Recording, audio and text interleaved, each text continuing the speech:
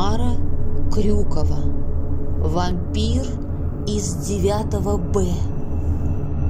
Все началось с того, что я разглядывал учебник моего старшего брата Юрки. На одной картинке был нарисован скелет. «Это что? У нас в кабинете биологии в шкафу настоящий стоит», — похвалился Юрка. «Да ну! Откуда он взялся?» – заинтересовался я. «Будешь много знать, скоро состаришься», – ухмыльнулся Юрка. Этим бы все и кончилось. Но на следующий день Юрка пожаловался своему другу по телефону. С этой контрольной у меня биологичка столько крови попила. Когда Юрка закончил говорить, я не удержался и спросил. «А у вас учительница вампир, что ли?» «Не болтай глупостей, без тебя тошно!» Отрезал Юрка и уткнулся в учебник. Когда он в таком настроении, лучше к нему не приставать. Я покорно уселся рисовать, но вдруг меня осенило. Учительница пила Юркину кровь, значит, он тоже стал вампиром. То-то он так разозлился. А уж когда папа принес из проявки фотографии, и на одной у Юрки глаза были красными, точь-точь, как в фильме ужасов, я решил, что пора предупредить родителей. Улучив момент, когда Юрки не было дома, я подошел к маме. «Мам, ты только не волнуйся. Я хочу тебе сказать одну очень важную вещь. Но ты, главное, не нервничай. Что ты опять натворил? Насторожилась мама. Юрка, вампир. Видишь, какие у него на фотографии глаза красные? Дурачок, это просто свет так падает. Нет, мам, не свет. У них в школе, в шкафу, скелет спрятан, потому что учительница тоже вампир. Я пытался убедить маму, но она только покачала головой. По-моему, надо меньше ужастиков смотреть. Я понял, что ждать помощи, только терять время. Нужно было действовать самому. Я знал три верных средства.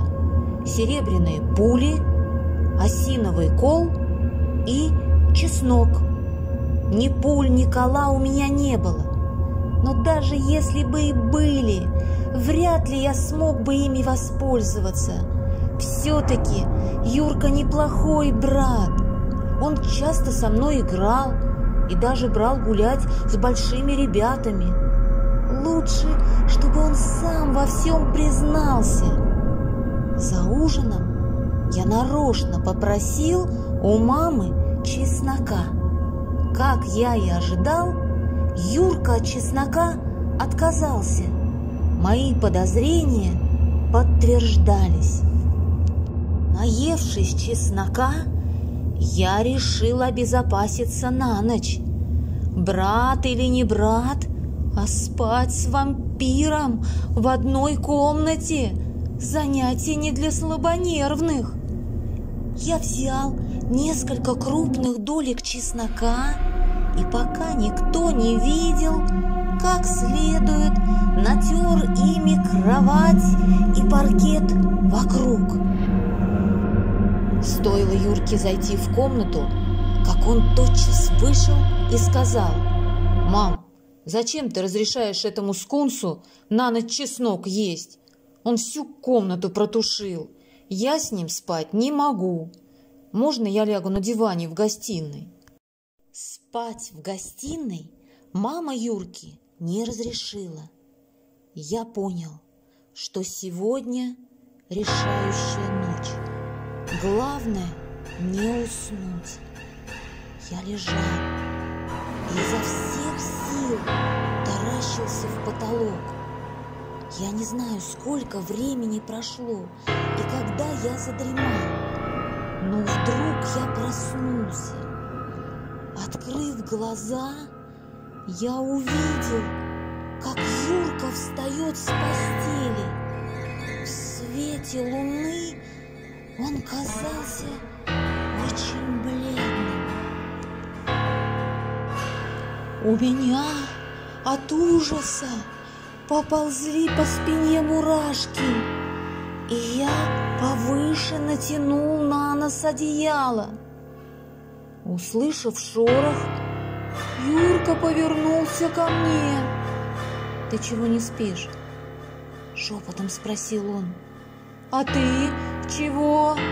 Пролепетал я и поглубже вжался в кровать.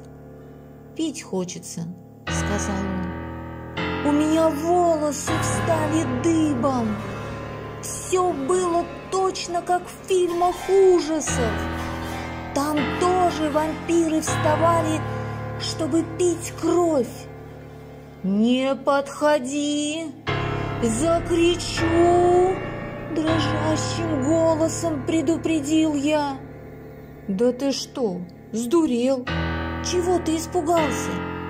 Участливо спросил Юрка, пытаясь усыпить мою бдительность.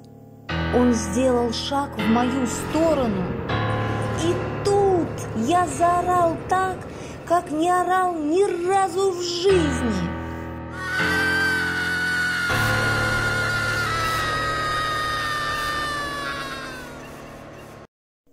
Я помню, как родители подскочили с постели и стали успокаивать меня, как мама дала мне какие-то капли, а Юрке пришлось съесть целый зубок чеснока без хлеба, чтобы доказать мне, что он не вампир. На другой день всем было смешно. Папа Мама и Юрка точно сговорились и постоянно подтрунивали надо мной. Только мне было не до смеха, ведь смотреть телевизор каждый день мне все-таки запретили.